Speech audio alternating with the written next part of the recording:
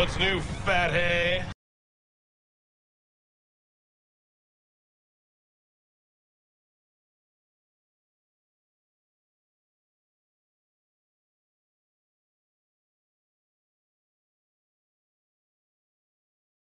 The basic movie carded figures come with a ring. Will the cartoon version have a ring, and if so, is it the same ring or a different design? We are not ready to reveal our plans for the animated line. Time will tell. To me, it'd have to be a different ring because the ring that they reduced with the Movie Masters line actually looks realistic. You'd have to do something a little bit more cartoonish. Uh, any chance of getting any play sets for GL? At this time, our high price item is the transforming Ring Blast Jet. We're looking at potential possibilities for play sets, so stay tuned. The Ring Blast Jet is not a play set, so the answer is no. They're looking into it, um, but the Ring Jet, the, the Jet is not a play set. It's a construct. Now, we will, will we have a decent hero and villain pack out ratio? I'd hate to see what Hasbro did with that Iron Man 2. Tons of Iron Men and very few villains to fight with. There is a giant villain in Green Lantern in the form of Parallax, and we will see him in the three, three and three quarter inch scale with the final battle set with a gate kid grab and eat feature, as well as collector movie master parallax. You can uh, collect and connect with 11 or 12 movie masters. The second Hal uh, the second Movie Master Hal will come with a die-cast ring instead of a parallax part.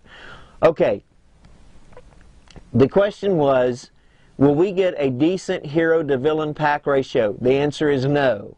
What they just said is there's only going to be uh, the two villains, and it's both parallax, just represented in different ways. The Collect and Connect will be the final showdown pack, and if you haven't seen it, I'm going to try to review it. Very cool. It rolls around, and then you can actually grab an action figure and suck it into uh, Parallax's stomach. Now, the Parallax Collect and Connect comes uh, in the Movie Masters figure. So, the long and short of it is, there's only one villain. That's it. You're going to have all these other light lanterns, but he is, uh, to their credit, he is a great big villain. Of course, Hal beat him by himself anyway. Uh, but Hal's Hal. He's the greatest Green Lantern of them all. Now, is there, if there had been a retail interest, what, uh, what characters would you have liked to have seen in GLDC Universe Wave 3? It wasn't due to our lack of retailer interest that uh, Green, uh, Green Lantern Classics didn't go beyond Wave 2. It was due to the Horsemen only being able to sculpt so many figures in a year. Green Lantern Classics was not canceled or anything. It was a wave, it was a two-wave strategy to get some GL product out to the market during quarter one and quarter two uh, before the shelf date of May 1st for the movie product. This isn't exactly what I'd heard before. Uh, this is a little different. I had heard that there wasn't retailer interest for Wave 2.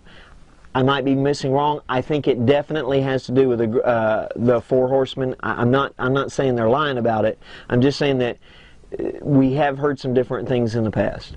Now, we Okay, are the leaders of the other colored lanterns coming soon in the DC Universe Classics line, or is the tooling too much to get those any, out anytime soon?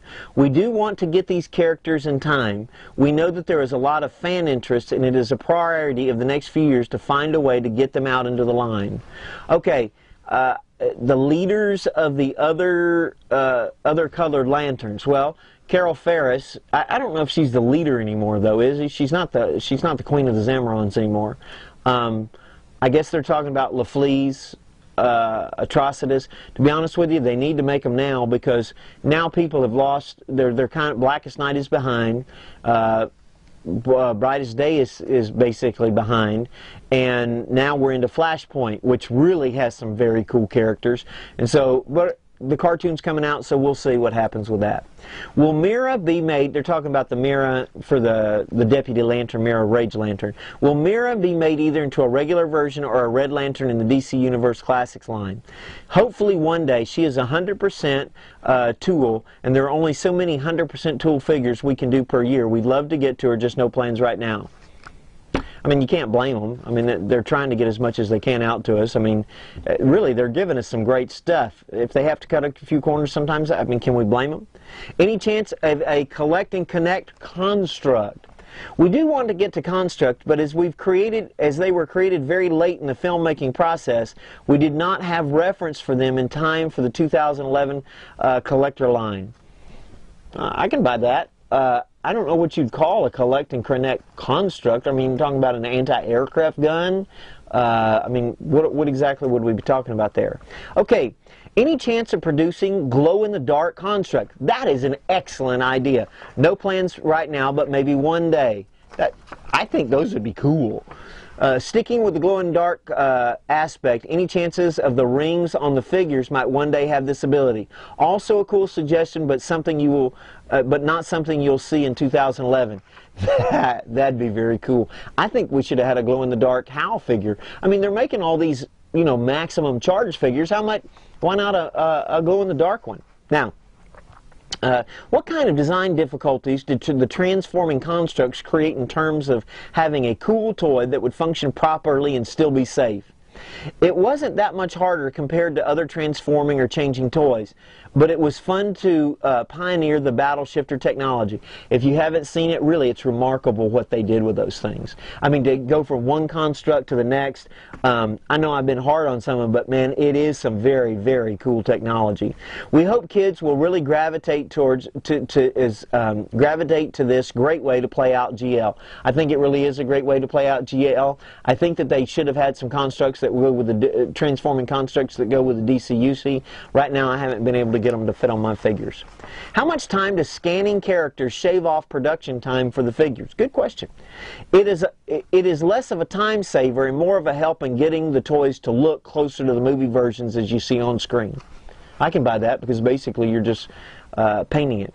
How many waves will it take to complete the Parallax figure? Movie Masters are not released in waves, but rather in rolling mixes. You will need 11 of the 12 figures to build Parallax. The second maskless Hal that sh will ship in the fall comes with a die-cast ring instead of a Parallax piece. Okay. Do the designers get any input to which characters get produced? Yes. They get the first pass, and then we bring it to Warner Brothers, DC, and filmmakers for their input. Thanks for the designers for their cool, their cool uh, stuff. How many waves are already have already been decided upon? Characters settle on just pending retailer interest. There will be 20 characters in the basic line, 12 movie masters, uh, along with a few extra figures and retailer exclusives, such as a six such as six of the Guardian figures, uh, the Walmart two packs, uh, a Martin Jordan figure in a pilot pack at Kmart. Martin Jordan, what in the world are you doing? Uh, never mind and a Movie Master Abin Sur in the TRU pack. That, that's actually pretty cool. And you will also see oversized Movie Masters on MattyCollector.com. Uh, that, they're talking about Green Man and Kilowog. And those, uh, Kilowog, um, I'm going to be reviewing. He is an awesome figure. Green Man was pretty, Green Man was pretty cool too. Well, I'm out of time. I hope you've enjoyed these interviews. Make sure you check them out. We really appreciate Mattel taking the time uh, to do this for us. And uh, we hope you got we got some good information there. Maybe gives you a little bit insight into the, the industry.